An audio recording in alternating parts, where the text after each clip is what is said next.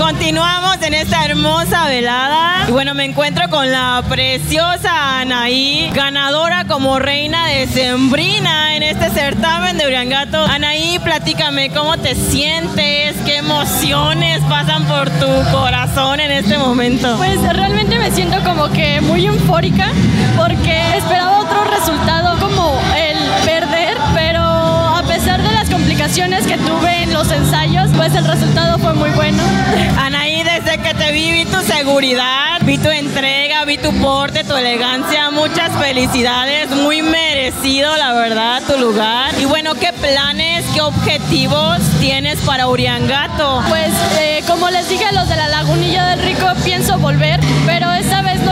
donaciones, más bien con algo para ellos que me representa totalmente, que sería con un baile de danza folclórica, porque quiero fomentar algo que para mí es algo mágico. Entonces y no solo a Lagunilla, quiero volver a otras comunidades para poder ayudarlos un poquito más con despensa, ropa o cosas por el estilo. Qué importante que traigas ese objetivo de fomentar esta tradición tan hermosa como es el baile. Creo que se te reconoce. Felicidades, Anaí. Un mensaje que le quieras dar a tus patrocinadores, a tu familia, a la gente que estuvo ahí, que te apoyó. Pues realmente